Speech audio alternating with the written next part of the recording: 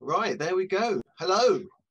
Uh, welcome to this uh, Commetric webinar, uh, Mastering Global Media Analysis, Best Practices for Comms and Reputation Measurement. Thank you so much for joining us today. Uh, my name is Matt Couchman. I'm a senior consultant at Commetric, and we're over the moon to be joined by some fantastic guests today in Elisa and Florian. Uh, guys, I'm going to give you the full uh, intro that you so richly deserve in just one moment. Um, just to set um, a bit of context, um, hopefully if you're joining us today uh, for this webinar, you already have an idea of the media intelligence sector in which Commetric operates. Um, if you don't, put very simply, we work for communications professionals in helping them really track, measure, and understand their earned media landscape and their brand reputation. What are some of those narratives surrounding their brands and their companies? What is the level of uh, editorial bias and opinion that's being offered to them? Uh, and it's really interesting sector um, in that we've got such a diverse array of clients, um, all of whom have a comms output and have a need to understand what's being said about them.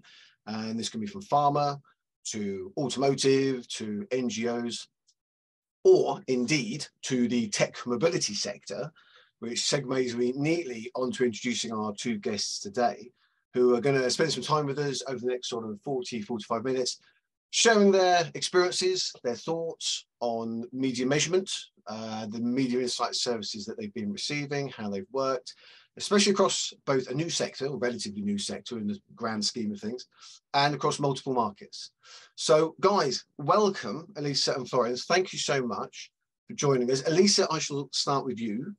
Um, Elisa Pasculi, sorry, get that wrong, the head of external affairs for measurement and insights at Didi.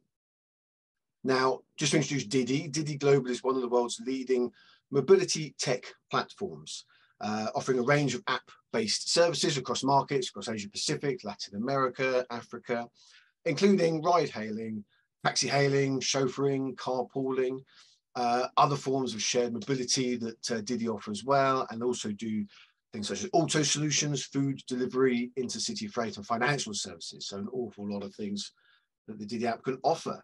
Uh, Didi's mission is to build build a better journey, and currently the company uh, often referred to as China's Uber. It's a really simple way of thinking about it. It's probably how I think about it. Uh, operates in 15 international markets. Elisa herself, um, Elisa and her team lead the global intelligence strategy and reputation management for Didi for the communications and governmental affairs team. Um, Elisa's also spent nine years at a, a, little tech company. I think they're called Google. I think I've heard of those guys. Uh, that's where we come across each other. So huge experience and delighted, Lisa, that you're joining us today. Definitely my pleasure. Like an honor to be here. Thank you for the opportunity. No, the only not. thing you forgot to say is that I am Brazilian, so I apologize in advance for my awkward accent and for eventually probably small mistakes in English, but I'll do my best. well, in that case, I should apologize for my overtly British accent whilst we're here. Um, sound like I'm in Downton Abbey.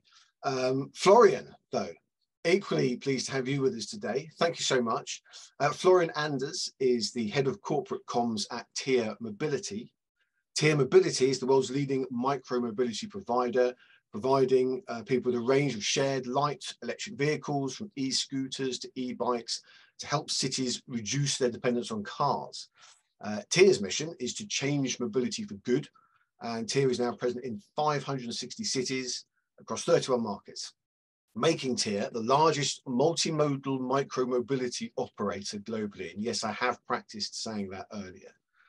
Uh, that was on your website. So Florian, that's down on you.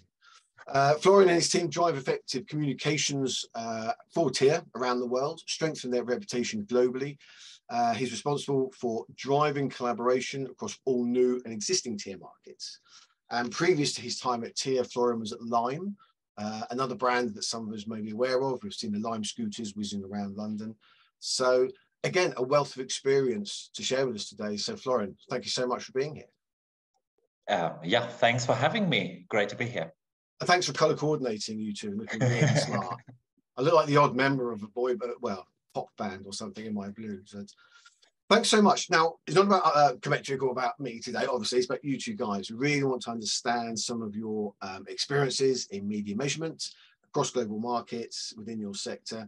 So starting off really top level, and then we can go down into some more detailed um, responses as we go. Oh, and just to mention, if anyone's watching this with the chat function, if anyone has a question as we go along, please feel free to ping it over in the chat. We can see it. You might not be able to, but we can see these as these pop up. So anything at all, please do send it. We can see if we've got time to pull that out and throw these throw questions back over to these guys. But starting off, big, big top level, Elisa, if we go ladies first and we start with you, um, in your sector, being that it's still fairly new in the grand scheme of, uh, of, of, of, corporate business, uh, what are some of the key communications challenges that you guys have faced? And what's the bigger role that media analytics has played to either manage these or hopefully solve some of these problems? Yeah, I feel that, well, it's, I think it's applicable to any sector, to be honest, like the challenge for the comms uh, departments, right? I feel it's necessary for us to have some intelligence and some data guidance so that you can inform your comms strategies better. Um, so you mentioned earlier, like brand reputation, understanding what are key issues, obviously being super at tune for crisis management. So making sure that you're being alerted uh, in time and that you have the intelligence to act fast and make informed decisions. So I think that those are the like two main use cases, mm. but basically just giving us uh, a little bit of uh, benchmark and data to inform your next steps rather than just guts. Mm. Making informed decisions. I think that's a buzzword I've used so often in, in the intelligence sector. It, it's about having the, the, the data to actually know that this is a right decision. Um, Florian, what, where, what's your take? What's some of the challenges that Tier Mobility has faced? And uh, how do you use analytics? What's your approach? Plenty of challenges for sure. First of all, um, yeah, I can only echo what Elisa says. Although working in a relatively new sector, the key comms challenges are pretty similar to, to more established industry. Um, I have to say, so regardless of the sector, as a comms leader, it is crucial to keep track of the news and develop like in this fast-paced industry with rapid expansion of the business, uh, we have to safeguard the company's reputation. Um, and we do all of that with very limited resources. So how has media analysis helped me to understand and tackle the internal and the external challenges? Um, I picked four challenges that I would like to share with you. So first of all, uh, um, I think scarce resources. Uh, all of us are working with very limited resources. So Commetric's media analysis has really helped me to better understand where and how to allocate my resources um, and maximize the impact and the outcome across all markets. Um, and especially as Tier is very much and has always been very much relying on external resources with agencies being the local point of contact and press office in the markets. Secondly, um, shared micromobility, especially e-scooters, are a very controversial topic and of high interest. So not only that we unfortunately have to deal with accidents on a regular basis, but also like constantly showcasing our efforts to improve safety, sustainability, accessibility, all of that. And to, to balance out the rather negative media sentiment, we have to push extra hard and promote the benefits of shared e-scooters. Um, so a lot of what we do on a daily basis is actually trial and error. We do many things for the first time, and then of course we have to evaluate, did they actually work? Did they have an impact or not? So as I always say, we build the plane while flying. Hmm. Thirdly, I would say it's one of the key challenges is planning insecurity. So we struggle a lot with planning and my planning horizon is usually two to four weeks um, due to many reasons, external factors like when will the city announce the tender results and um, internally speaking, ever changing launch dates and timelines. So um, like when we look um, at year over year or even month over month comparisons that are not a suitable solution for us, um, if the size of the company is doubling every six to 12 months. Um, and therefore we decided to yeah, uh, work with you and set uh, different KPIs to actually then uh, track and have unbiased and most of all accurate data and insights. And lastly, it's also about showcasing the impact comms is having. Um, needless to say that we are, just like Elisa said, uh, mobility tech company. We're very data driven. So media analysis helped me very much with showcasing the impact that we as a comms teams are having. And that in the end helped me to secure additional budget and additional resources. So overall, I was able to grow the team and the network of agencies. Anything that can make means you can go get additional budget is always going to be a, a fantastic bonus. Um, yeah, or and, savings. Sorry, Matthew, just to no, add into, may I add into something? Because I thought it was very interesting. One example of like showing the impact uh, for of the communication teams back to the company um, that I feel that data like analytics really, really helps is to see if your efforts are actually matching what the business really needs so mm. I feel it's like giving this argument, like data arguments back to the business, right? Like, yeah, we we said that we're gonna preach that we are a sustainable company and that's our core value. So is that being reflected on media? So are we lending the messages uh, that we said we would? And this is helping the brand reputation to go in the direction that the business decided that it would go, right? I feel that that's a key thing Mm. Uh, it's a key challenge, but it's also like a key benefit, right, from actually do doing very well done uh, comms. Yeah, and it's it's something that we always advocate as well is helping guys like you showcase your comms and how it's supporting the central business proposition of your company. Uh, and for many years, I've used a, an analogy about going into the boardroom where you can have the sales team can go to a boardroom with their sales figures and the marketing team have got their data, HR have got their data. What data can the comms team bring in to say, this is what we're doing, it's supported the central business and we're doing it really well. Um, and Florian, it's really interesting actually with your uh, detailed overview is that you do mention planning, uh, planning ahead as to what's happening and some of those emerging narratives as well. Um, and it's something that we, we can sometimes lose track of with measurement is that measurement feels like it's always going forward, but don't be afraid to, well, look back to do some benchmarking, but then plan effectively uh, before you re release a campaign or before you have a new strategic press release, look at what's happening and really have that full 360 overview. Measurement start doesn't just start after you've done the event and then you're looking back. So it's great that you, you, are on board with that as well. Um, and moving on from that, so it's it's clear, it's it's very important. It helps you showcase to the wider businesses exactly what the comms team are doing and keeping on top of those emerging narratives in a new industry, which is crucial. You know, we can kind of second guess other industries where the stories are going, where's micromobility going. But when you get that insight in, what are some of the main KPIs that you use to actually really measure the comms performance? There's so many metrics out there. I'm always really keen to hear from guys like yourself. What are you really using? Uh, Sorry, let's go, Florian. Happy to start. So we picked three key KPIs. Um, first one being share of voice. So, I mean, uh, needless to say, we want to be the loudest, the most recognized player in a very competitive market.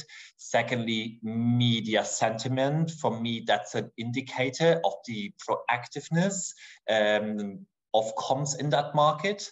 Um, so the benchmark here is not to have more than 10% of negative articles. Um, and the third key KPI being spokesperson visibility. For me, this is a great indicator for quality media coverage. Um, so 10% of all articles should include a quote from a Tier spokesperson. Um, important to say this is based on a set media panel. So we defined a panel of 20 to 50 key media outlets per market, depending on the market size um, and not just like monitoring all online media out there. Mm. But those are the three uh, main KPIs we're using.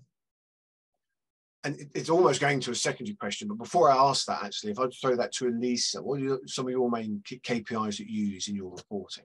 It's amazing because like it's a building up um, on Florian's KPIs. Those are the three bases as well.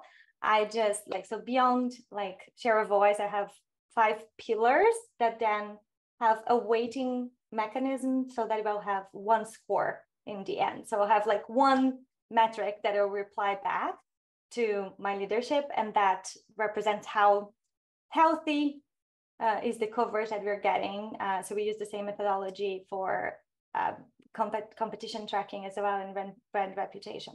But the pillars of this uh, score are the same KPIs. So we look uh, at present, so share of voice included, so how loud we are, tonality, taking into consideration uh, press sentiment, the pillar of media as well. We do look uh, at a selective or the media that we believe are the most important for mm. the business strategy, not necessarily just like top tier one media, because that really we we really want to go deeper into the media that are important for the business.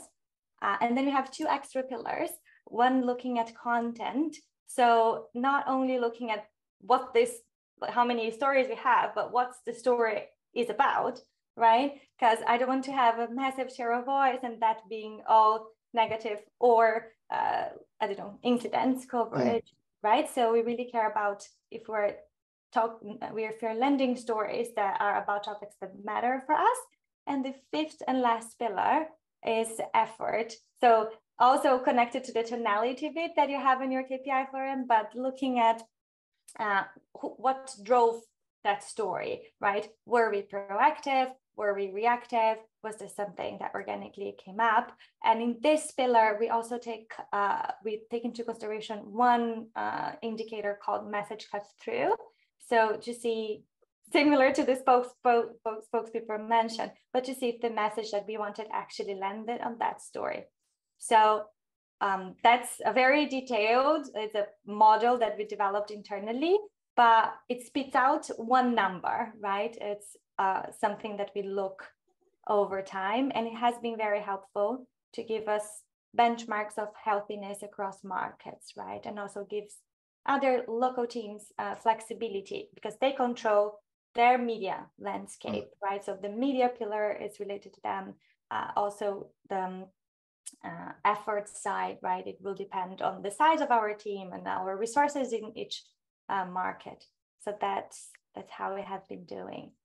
But yeah, I think the key metrics are the same. and, and it's really interesting as well that the key metrics are all based on the actual content analysis of what's being said, more so than just some some more uh, metadata. And one thing I was thinking of, maybe a bit of a sub question to that is, how important is it for you to have reach figures or audience figures in your reporting? For someone like me that's been in the sector for 20 years, it's always been a thing as to how many people are looking at this. Uh, but where, now when we're focusing such on, and you both have key media lists, these are the titles we want to appear in. So we know we're hitting them. We want to know what the stories are and how we're being positioned. How important is it to actually have audience figures? Or is that a metric which maybe in global multi-market analysis isn't as crucial as it perhaps it used to be? Uh, Florian, do you want to, what's your take on that? Sure. Personally, I think it makes more sense to establish KPIs that measure quality, not quantity, mm. but it very much depends on your goals, uh, your target audience, and what you're trying to achieve. So, um, reach can be a useful metric when you work in an early stage startup where your primarily goal is to create brand awareness. Um, but in my case, um, I would say quality over quantity, and therefore reach is nice, uh, but as we target city officials, decision makers, it's for me, it's most important that those people actually read the article that we generate. Hmm.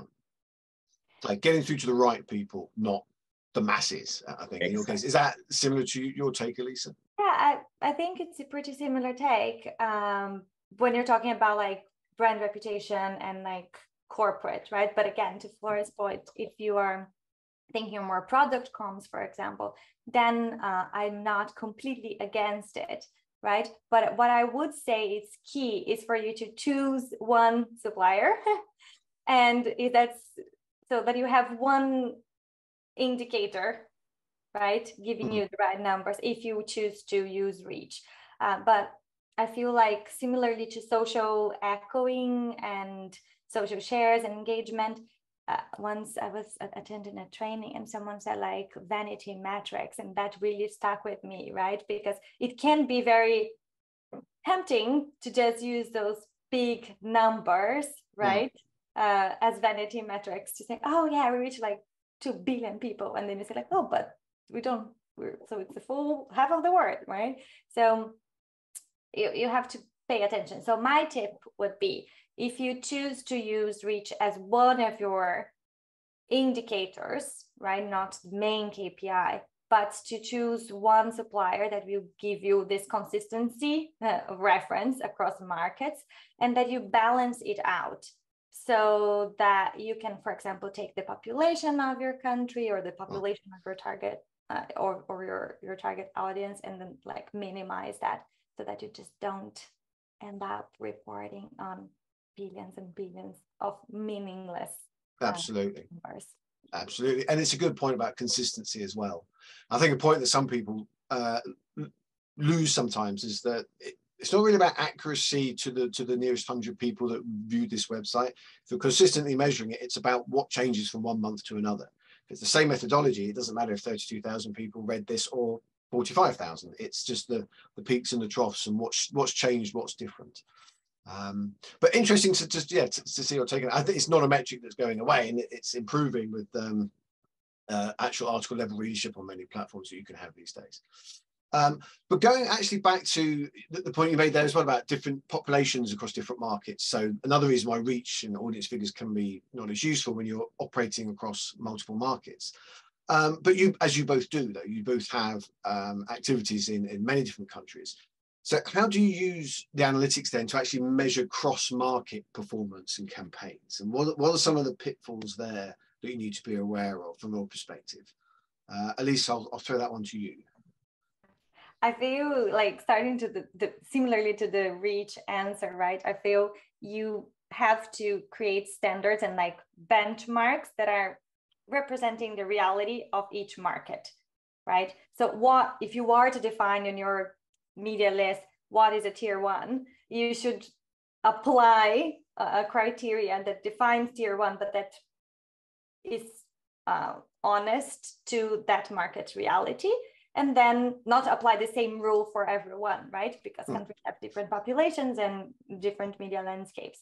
So it's more like looking at, um, uh, we agreed that is, let's say, a tier one would be your uh, 10 um, mainstream media that has national wide um, audience and I don't know, like you can agree on your criteria, right? Mm. So then you would search for those in your specific market. So the, the rule is the same, but adaptable to that reality, to yeah. that reality. So I think that that would be something. And I feel um, that the habit of benchmarking.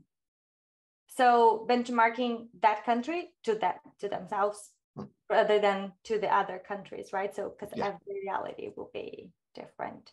So really looking back and seeing, okay, what was a very good campaign that we did in the past for that country? What were the results that we had? Then this a big crisis that we had, the results that we had, and then over time you will get uh, something like mm. benchmark against Absolutely, your yeah. your country, specific country.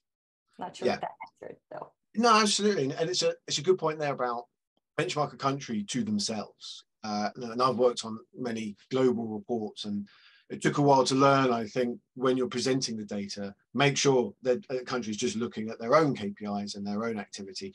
No one will thank you for benchmarking German activity to France to Britain to because of the different populations, the different uh, media landscapes there.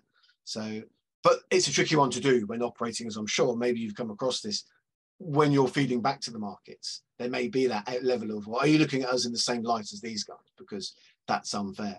So it's a bit of a, a balancing act, I think, when it comes to analytics there. Uh, Florian, what's your experiences with, with that, uh, handling that, that cross-market insight? Um, pretty similar to Lisa's experience, I have to say.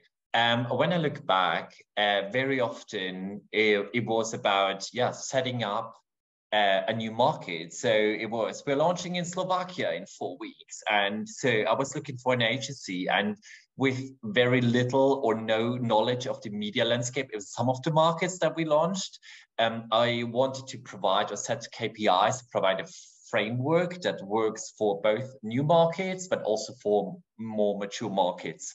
Um, and yeah, to give the market as much freedom as they need to adapt to their market needs and also, uh, of course, the possibilities because not all of the markets have, let's say, mobility trade media outlets. Hmm. Um, so my tip would be uh, to have some kind of bottom-up strategy. So I was working very closely with the market managers and the local agencies. It's like um, and the first step was always defining the top tier media outlets. As I said, 20 to 50 media outlets um, addressing decision makers, the city officials. And like, that's what matters. Um, and then the focus was clear from the beginning. And I think that made our work in the markets also more effective because it was very clear, straightforward. That's the goal. Those 20, 30, 40, 50 media outlets are the one that matters, and the rest uh, is not that important. Hmm. Um, and may I just add one something that I feel maybe mm. Florian share with me, but uh, I feel like the difference for me coming from Google to like from big tech, right, to mobility was that it's a hyper. It, it can be a hyper local um, product, right? Like mm. the, the, service that we provide is hyper local. So it's at the city level. And sometimes you tend to think of PR as this national wide, like we're launching a country, but I've, and maybe that's like pivoting slightly into a strategy, but it will influence the, the media strategy, right? And the media, um, the, the weight that you're giving to the media list right so sometimes going hyper local and really looking at like okay who do we want to read who do you want to influence? Uh, so if it's on a city level, then there might be not no so traditional, uh, not as big media, and not not necessarily industry um, outlets, but that are relevant to that state or that municipality, and that that can be your top tier for that strategy, right? Yeah. Absolutely. We, we have a lot of local newspapers, very local or regional media outlets in that list because that's what matters to the people in York or some German villages. And that's in the end what they read, not like some business or trade media outlets. That's an amazing point you make, actually, because when you think about global comms strategy, you think, okay, it's at this top, top high level. Of course, you guys are doing this but on a city level, which then requires a hyper local approach. So you're almost having a global hyper local strategy to, to, to, making sure people are aware of, of TIER and Didi in those cities. So that's, uh, and Florian, you, you, touched there actually on how you spent a lot of time talking to local agencies and to the local TIER offices to try and coordinate. So has it actually or is it beneficial? Perhaps what are some of the challenges to having a third party data provider coming into that mix? Because you've already got a lot of stakeholders there. And there's a lot of tools internally, uh, which we know you can use. What's been your your experience there um, with, with bringing third party data to that to that uh, to that model? Sure. So for me, it brings, first of all, it's convenient and it gives me peace of mind. And that's very important. Um, secondly, I think it's also one of the key benefits is that we have reliable and unbiased data and insights because based on my experience, some agencies tend to over-report their successes. So no offense to my dear agency friends, but um, it's very good to have actually a third party doing the job. Um, and that as a result also frees up time and resources for my team and my agency network to be more proactive, uh, to reach out to the media, to talk to journalists, because that's in the end what they are doing best and also enjoy the most. So I would say it's a win-win-win. Like um, I have my peace of mind, agencies can focus on other things, and I have a great report that I can trust. We, we won't tell them you said that, Floyd. Don't worry. it's, it's, between us, we're all amongst friends. Uh, Elisa, what's been your experiences? What's your thoughts? Yeah, I cannot say anything else rather than what Florian just said. Like echo every bit of it. I feel the unbiased review is the most important thing, uh, and also the giving giving back to the agency some sort of intelligence right rather than them looking at their own work which i feel it's so it's so powerful to some extent right? Like hey here is like you put a lot of effort into this. You just like tracked all the analytics of it. We're going to give back to you so that you can look at the insights and see what you can do differently. So yes a huge resource uh, savings and and unbiased review. So i feel that's that's key. Fantastic. Um just uh, I could probably circle back to a couple of points in my notes here because we've got a, a, sort of like a, a, final question coming up. I'm keen to keep this quite short. I know we can all have death by webinars uh, if we're not careful, so we'd like to keep this one quite short and punchy.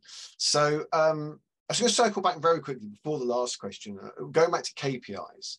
Something that really interests me, and again, because we'd love to hear from clients and how you actually use the data. Uh, it's no point offering everything on a plate. We want to know what, what works for you guys when you settle on your KPIs, how difficult was it to get buy-in from your actual stakeholders or the C-suite? Because I'm always very conscious that it may be great for you, your data people, you can understand this. When you then have to communicate it up the chain to the C-suite, was there any hurdles there? Was there any uh, pushback from there, or, or what, could, could even the insight sector play a role in helping to educate uh, about the metrics internally. So that becomes an easier path. Uh, I don't know if you guys any any had any um, experiences with that. Elisa, you want to start?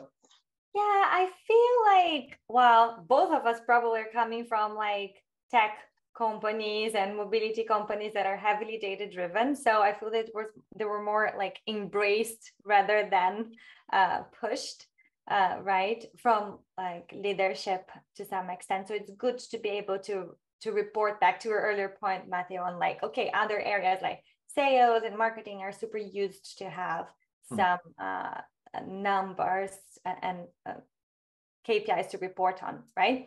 So i don't feel there was a lot of resistance. What i do feel that uh, and that's like previous experience it's the building up internally and getting the buy-in from the full comms teams in all the different markets so that everyone can reach an agreement on okay this actually represents our work mm-hmm. um, i think was the time that took a little bit more buy-in and of course it's kind of expected right you have to make sure that everyone agrees and, and to what you are report on on on what you are reporting on mm. um, so I feel that that's that's at least on my experience, that's where we were. Is that similar to you, Flo? I guess being tech based, that that should be an easier an easier sell for you guys, right? Yes and no. So when I joined here a little bit over two years ago, I was actually surprised that there was not really a like reporting process in place um, the people had a very good understanding of what they want, but just because everyone was so focused on expansion and growing the business, it wasn't just a priority. So I was in a very lucky position and um, completely free how to like set up everything, which I loved. And starting point for me was just like um, the understanding of the needs of my key stakeholders, which is firstly being informed about like what's going on in the world, and secondly, as Elisa said, measuring the impact. So um, to keep my stakeholders and a leadership team informed, we set up a curated morning report with the latest news about tiers and the main competitors coming into our inboxes every morning. Everyone loved it. And then secondly, measuring the impact um, was a little bit more challenging, uh, but then we were pretty much free I was free to do whatever I want or felt was right. And then actually everyone liked it. And so it was quite an easy and smooth process. And then I think people actually appreciated that there was data before they asked for it. Um, so that was great. Yeah, and, and it goes to the everyone has to be a data analyst these days, and throughout every department from HR through to whoever it may be. Um, everyone has to have their uh, data goggles on. Um, very quick question, actually. Uh, we've had one posted um, from Ahmed. Um, so we've got a few minutes before one last question. So I thought I'd throw this out. It's quite an interesting one. How often do you guys need to rescope your analysis? And what informs your decision to do that?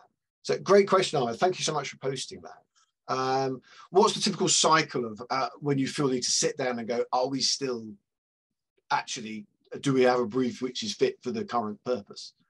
Uh, Elisa, how, how often would you say that's something that's you have to uh, revisit? Like, I would say it's very like almost every quarter. We, we do look at like we do quarterly reports and we do half years and uh, full year reports. And those are great moments to see like because we're looking at the trends and say okay are we still monitoring the most important issues of the industry? It's a fairly new industry so it's ever changing uh, so yeah we I, we do think and rescope monitoring to some extent um, every quarterly report uh, some things are cons- uh, consistent right um, but also because we have um, blooming um, competition as well, right? So new competitors emerge in every mm. market. Uh, so we do have to update uh, that. Are we still looking at the, the top the, the top competition mm. beyond just top trendy uh, key issues or, or important areas? Yeah, those pesky competitors, they're, they're always popping up everywhere, aren't they? It's, uh, yeah, it's keep your eye on them and keep the brief updated. But it's a, I guess it's a balance between keeping the brief updated, but not losing the ability to benchmark on where you've already been. Uh, so, so you, you, keep that uh, data validity there. Florian, how about yourself? How often do you say you need to sort of really think about the scope and scale of the analysis? Based on my experience, not very often. I think the biggest chunk of work is really setting up the markets from agreeing on the top tier media list to getting um, yeah, all the tag words right, listing the competitors. And um, I mean, of course, on a constant basis, we have to check, am I still monitoring the right outlets? What happened to the competitive landscape in that market? Because, I mean, operators come and go. Um, but it's, as Elisa said, small amendments on a regular basis. But I would say if if you do a good job in setting up the market for success, um, that's that's uh, yeah the biggest chunk of work. Yeah, consistent tweaks rather than a huge yeah. rescoping. I think is the keep uh, an eye. Yeah, like you have to keep an eye because it will always change. And we were talking about uh, the other day with the Commetric team about relevancy checks, right? Because uh, beyond press slightly uh, less, but on social chatter, the way that people talk about a subject evolves with language, right? So you you have to maintain monitoring up to date to make sure that you're actually capturing capturing relevant uh, conversations. Hmm. Um, so yeah, I would say quarterly review. It's good, not to rescope completely. Yeah, absolutely. To make sure that you're bringing in everything that is relevant. Makes perfect sense. So just looking at the time, the, the last question, um, which I would, I'd like to throw to you guys, it, it, it's one of those classic end of the webinar questions, but from a measurement perspective, what data set is important to you in 2023? And I say that because it's the sort of drop the dead donkey question. We're always curious to, to ask as well. What one KPI or stat really stands out for you in 2023? Uh, Florian, what, what, what do you think? It always takes me back to like the buzzword of impact coverage. So I think what I would love to be able to track or track more accurately in the future is like, are my opinion leaders, my decision maker in the industry, um, engaging with the media, with the articles, um, that could be a blog post, a tweet, a press release, or an article that we secured? Um, or do they even amplify my stories and it, that in comparison to my competitors? So how much are we influencing their thinking, their decision making, um, again, targeting decision makers and city officials. Uh, it's nice to have a big article in a renowned regional newspaper whatsoever, but it doesn't really count if your target audience doesn't read that media hmm. outlet. Mm. Uh, and secondly, Elisa, uh, Elisa touched base on it. So social echo. So the way we consume media has changed drastically over the past few years. So we don't read this or that magazine or newspaper. It's like um, we based what algorithms think we're interested in or what our friends and peers share with us on, on Slack and WhatsApp. So again, creating interesting and shareable content and tracking if the article is getting traction or not, I think will become more and more important uh, this year, next year, and in the future. Yeah. No. Yeah. Exactly. It's always moving the needle again from let's just start looking at outputs and what's the actual outcome of our activity. And if it's through blogs, if it's through generated content that you're putting out there, and how people are interacting with that. Uh, Elisa, where are you on that? What what stands out in 2023 for Diddy's comms? Uh, not so for DG, but like I feel overall, right? Like for me, oh, yeah. and like me and when we're talking previously about this, I do feel like this echoing beat, like where people are sourcing their news, because the behavior of getting information, it's it's humane, right? Like we're always gonna get news, but we don't know exactly where this influence is coming from. So I feel in terms of data analytics, um, what is super where I would like to come ne- next and have some uh, understanding on is mm. okay where where the people that I need to read the news are sourcing their news are they being influenced more through like yeah top tier magazines mainstream or is like the the telegrams and the whatsapps and the social and the social like the official social media channels, the ones that are actually uh, getting the people that I need to influence attention, right? So mm. this uh, analysis of the influence of I don't like this term, but like dark social, but uh, how dark social, social, and traditional media uh, in interconnect. Yes. Uh, and what influences um, what drives the change first uh, i think that's where we should be all looking at to be honest and uh, other formats right and i think that's very like basic to say but the power of audio the power of video consumption mm uh, and the shift uh, on like to tiktoks and to short formats and like podcasts i feel that's there's a we should be looking at that as well and have better tracking for for those formats. Yeah yeah absolutely. It um it, it kind of echoes a question that we've been posted actually about where do we see the evolution in the industry going in the next 12 months? And at least i think you just you've hit on so many nails there. Podcasts uh, a greater understanding of the changing media consumption habits of our consumers per market.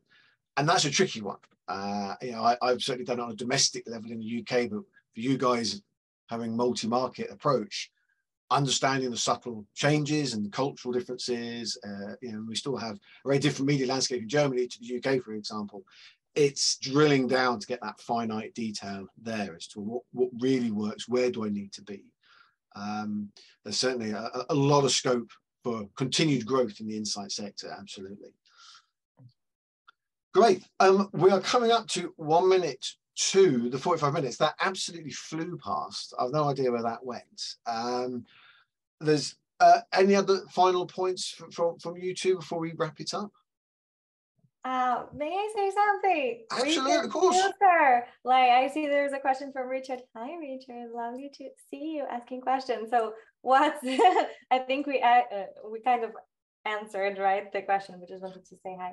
You're um, almost answering it. I thought you were just completely still on the same wavelength with rich no but what i was gonna say like to I, I feel people that we didn't touch this but there's so much power and benefit of using like the massive the big uh, so the ChatGPTs and the AI into analytics is a powerful tool for analysis. Of course, you need like human review, but I feel as communicators, we should be all embracing this uh, as potential tools, hmm. right? So I don't know, make sure that you're using uh, tools that are keeping up uh, with the evolution of AI for, for language models.